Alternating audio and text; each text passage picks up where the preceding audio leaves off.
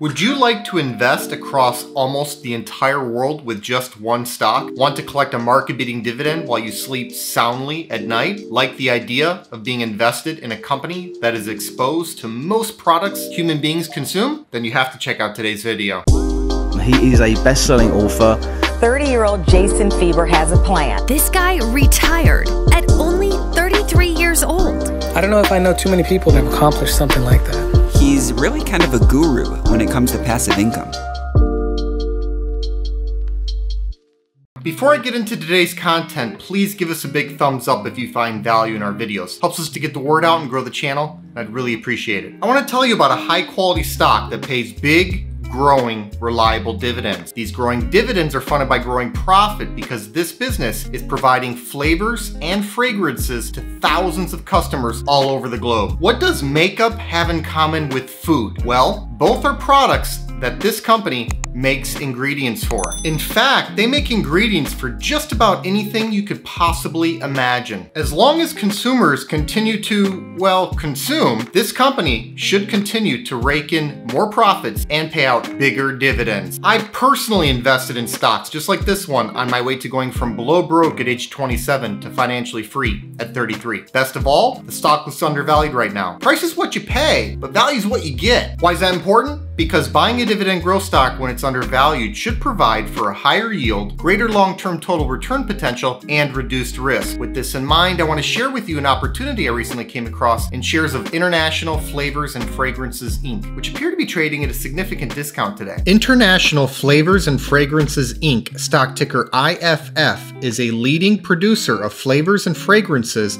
that are used in food, beverages, household goods, and personal care products. Founded in 1833, International Flavors and Fragrances is now a $32 billion by market cap global ingredient solutions leader that employs more than 13,000 people. Fiscal year 2019 sales were broken down across the three following business segments Scent, 37%, Taste, 34%, and Frutarom 29%. Investing in international flavors and fragrances is like investing in the entire world. Why do I say that? The company sold over 128,000 individual products to more than 38,000 global customers in fiscal year 2019. They're involved in the manufacturing process for everything from baked goods to lipstick. There's almost no product out there that this company doesn't touch in some way. And these aren't just giant corporations we're talking about either. 65% of the company's fiscal year 2019 sales were to small and medium sized businesses. Also, this is truly a global operation. During 2019, 80% of their combined net sales were to customers outside the United States. As long as people continue to consume, well, just about anything and everything, international flavors and fragrances should continue to prosper. That bodes well for their ability to register higher profits and pay out bigger dividends over the long run. They've increased their dividend for 18 consecutive years. The 10 year dividend dividend growth rate is 11.5%. This comes on top of the stock's current yield of 2.4%. That yield, by the way, is 20 basis points higher than the stock's own five year average yield.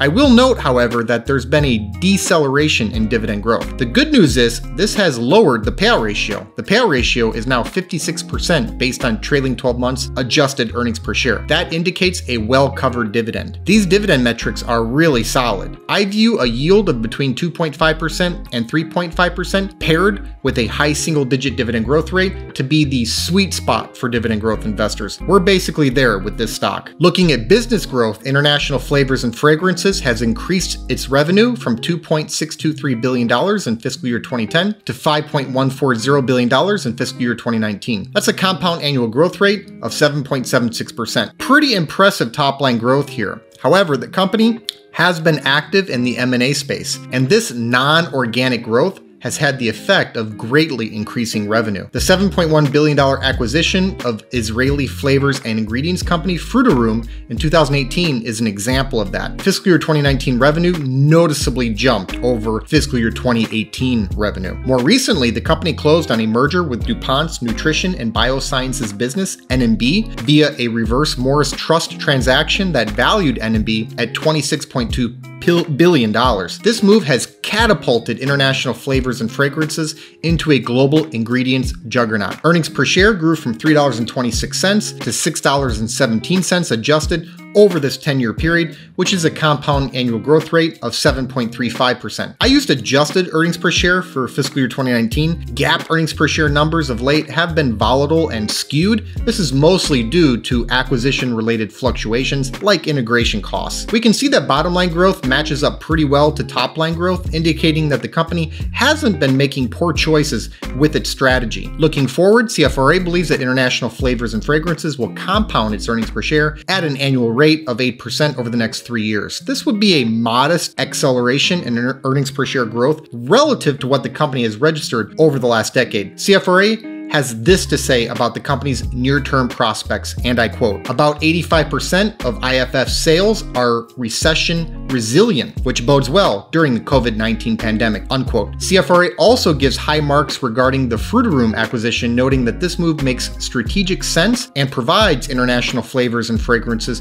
with exposure to adjacent markets with faster growth than legacy markets. Building on that in a big way is the merger with DuPont's N&B business, which only serves to increase the scale scale of the combined enterprise, this move is also expected to unlock additional value through synergies on the order of approximately $300 billion in cost synergies and revenue synergies of approximately $400 billion by the end of year three post close. The market obviously likes this move. IFF popped 18% on February 1st, as soon as the deal closed. Uh, as a side note, that pop, by the way, is unfortunate. It occurred right as I was in the middle of doing this research and putting this analysis together. The increase in price reduces the level of undervaluation. A possible long term growth catalyst is the geographic sales mix. This company is less tied to the mature US market than what you'd ordinarily see from a global business. I believe CFRA's call here is appropriate. It's not much higher than the 10 year earnings per share growth rate. This should translate into high single digit digit dividend growth. When attached to the stock's current yield,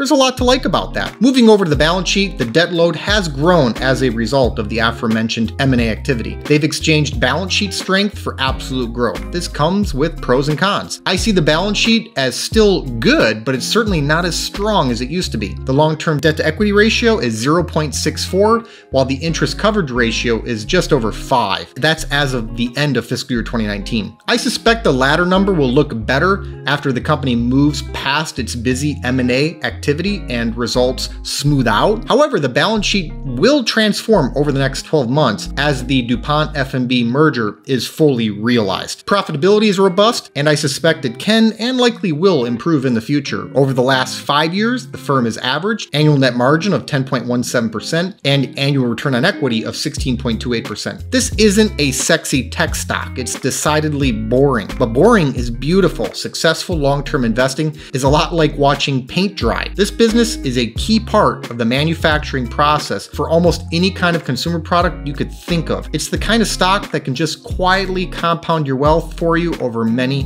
years. And with global scale, proprietary formulas, R&D, and switching costs, the company does have durable competitive advantages. Of course, there are risks to consider. Litigation, regulation, and competition are omnipresent risks in every industry. Substantial international sales means currency exchange risk. The company's flurry of M&A activity introduces execution and integration risk. The weakened balance sheet is a concern, and input costs like raw materials can oscillate. With these risks in view, I still believe this business should make for a fine long term investment. That's especially the case with an undemanding valuation. The stock is trading hands for a price earnings ratio of 23.1. That's based on adjusted trailing 12 months earnings per share. If you think that's high, the five year average price earnings ratio for the stock is 31.9. Let's also consider that the price to cash flow ratio of 19.9 is well off of its three year average of 24.6, and the yield, as noted earlier, is measurably higher than its own recent historical average. I valued shares using a dividend discount model analysis. I factored in a 10% discount rate and a long term dividend growth rate of 7.5%. My modeled dividend growth rate is lower than the 10 year demonstrated dividend growth rate. It's also lower than CFRA's near term earnings per share growth projection, and it's not far off from the 10 year earnings per share growth rate. I don't think this is an unreasonable long term expectation from the business, especially if the N&B merger is even mildly accretive. With a modest payout ratio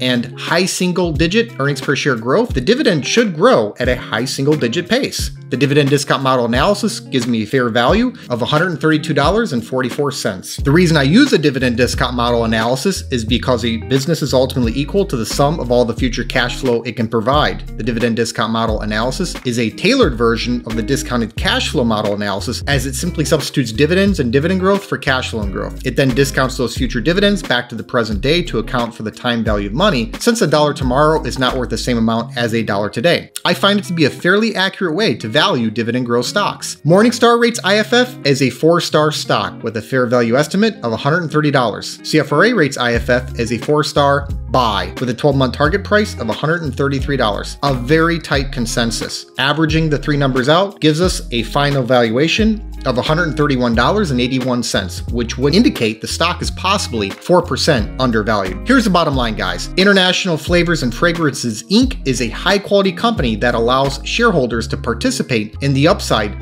of nearly all global product consumption. The stock had a massive pop right as I was putting this analysis together, which is rather unfortunate and untimely. But I still think it can be a great long term investment. With a market beating yield, double digit dividend growth, a modest payout ratio, almost 20 straight years of dividend raises, and the potential that shares are 4% undervalued, this is a stock that should be seriously considered on any kind of pullback. Thanks so much for watching. I hope you enjoyed today's video. Give us a like if you did, and let us know in the comments what you think about this stock. Please make sure to subscribe to the channel and ring that notification bell so you don't miss out on new content. Also take a look at the description box below for some important links, including the link to my personal stock portfolio. This six-figure portfolio, which I call the Fire Fund, generates enough passive dividend income for me to live off of. It allowed me to retire in my early 30s. I've made my portfolio entirely accessible over at Patreon, and I also post alerts there whenever I buy or sell a stock. I put my money where my mouth is and I'm often invested in the same high quality dividend growth stocks that I make videos on. Over the years, I've heard from thousands of investors who have been profiting from many of the same exact stocks that I own. So if you think this is something that you could benefit from as well, check the link in the description to see my portfolio and start getting my buy and sell alert. I'll see you next time.